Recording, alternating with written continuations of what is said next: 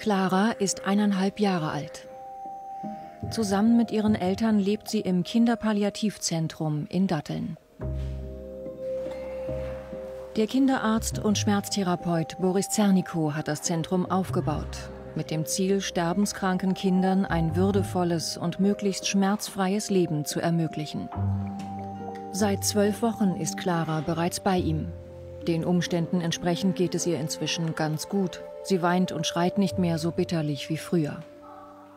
Sie hat halt immer geweint, durchgehend. Man konnte sie kaum hinlegen, hat sie geweint, Luft angehalten, bis sie blau wird auch. Acht Monate lang war sie ja im Krankenhaus. Letzten August kam sie dann nach Hause. Ja, und dann haben wir das äh, ein paar Monate probiert, aber es ist halt nicht besser geworden. Da sind immer mehr Medikamente angefangen worden und alles durcheinander. Boris Zernikow erlebt viele solcher Fälle. Er weiß, um die richtige Medikation bei Kleinkindern zu finden, braucht er Geduld, viel Erfahrung und muss die Kinder genau beobachten. Die Clara hat eine sehr seltene Erkrankung, die letztendlich mit einer Missbildung des Gehirns einhergeht, aber auch mit einer Fehlbildung von anderen Teilen des Körpers. Und das führt dazu, dass speziell bei ihr eine ganz starke Unruhe da ist und ein vielleicht sogar ein Schmerz.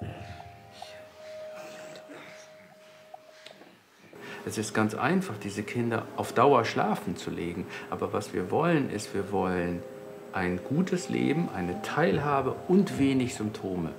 Aber die wissenschaftliche Basis für die Auswahl dieser Medikamente ist unglaublich schmal.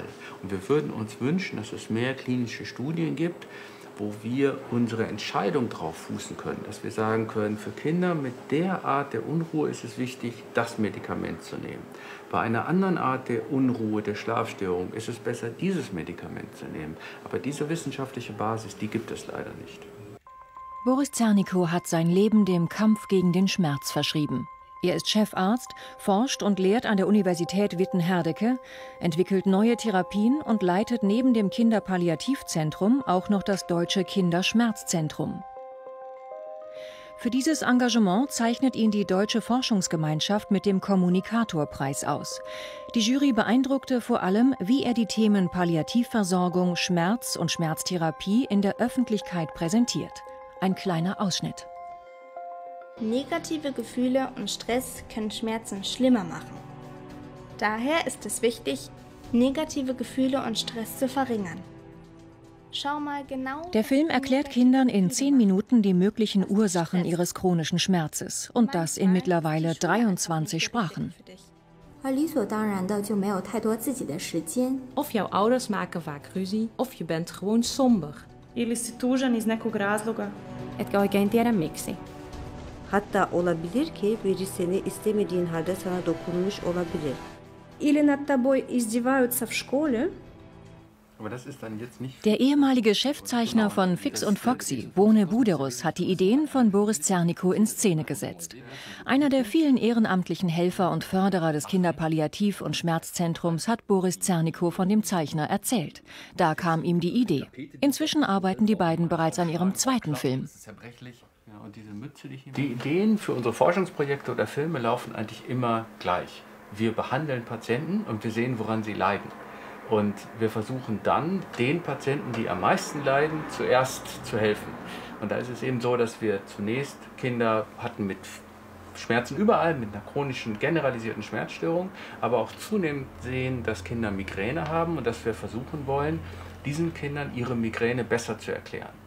Und das Wichtige in der chronischen Schmerztherapie generell, besonders aber bei Kindern, ist, dass Erklären der wichtigste erste Schritt der Behandlung ist. Das ist bei vielen anderen Erkrankungen nicht so. Wenn man für Kinder arbeitet, ist es unendlich wichtig, dass man ein Team um sich herum hat, was in die gleiche Richtung läuft.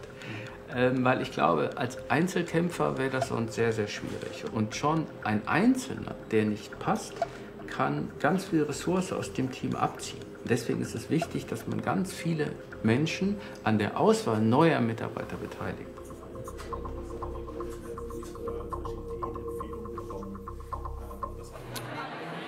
Die Atmosphäre in der Kinderschmerztherapie-Forscherszene ist eigentlich eine extrem lockere. In Seattle hat dieses Jahr der Weltkongress für Kinderschmerztherapie stattgefunden. Ich hatte eine Kamera mit und der Mensch, mit dem wir am meisten zusammenarbeiten, ist Charles Birdie der erste Mensch auf der Welt, der einen Lehrstuhl bekommen hat für Kinderschmerztherapie an der Harvard Medical School in Boston. Einer meiner Vorbilder und Heroes, ein ganz, ganz besonderer Mensch. Ich war sehr erfreut zu hören, dass die deutsche Forschungsgemeinschaft DFG den Kommunikatorpreis Professor Boris Zernikow verleiht. Professor Zernikow ist einer der weltweit führenden Köpfe bei der Schmerzbehandlung von Kindern. Er hat in Deutschland eine Behandlungsmethode entwickelt, die weltweit als Pflegemodell sich etabliert hat. Und meiner Meinung nach ist er der beste Schmerzforscher in Europa.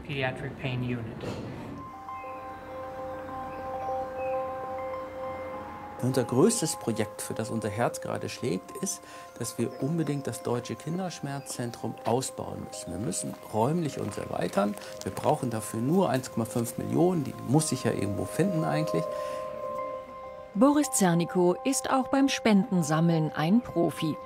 Die Nachbarvilla hat die Klinik bereits gekauft und auch ein Modell des neuen Kinderschmerzzentrums gibt es schon. Dass es mit dem Spenden klappt, davon ist Boris Zernikow überzeugt. Denn auch sein Kinderpalliativzentrum musste er komplett über Spenden finanzieren. Vor fünf Jahren war die Eröffnung. Für Boris Zernikow, seine Frau, sein Team, die Familien und die vielen Förderer und ehrenamtlichen Helfer ein guter Grund, ein Kinderfest zu feiern. Meine Vision ist, dass ein Kinderpalliativzentrum auf Dauer arbeiten kann, dass die Menschen kein Burnout bekommen, die dort arbeiten, dass wir genug Personal haben, dass wir Forschung machen können, um Kindern mit lebenslimitierenden Erkrankungen besser zu helfen, weil die Arbeit, die wir jetzt machen, ist auf einem ganz schmalen Fundament für Menschen, die jetzt Palliativmedizin machen, muss es so ein Erlebnis geben, ich bin hier richtig. Ich habe den Eindruck, wenn ich in einer Situation bin, wo ein Mensch schwerst krank ist, dass ich dort für den Menschen hilfreich sein kann, für die Familie hilfreich sein kann, ohne dass ich selber Schaden nehme oder dass ich dann danach nicht mehr gut weiterleben kann.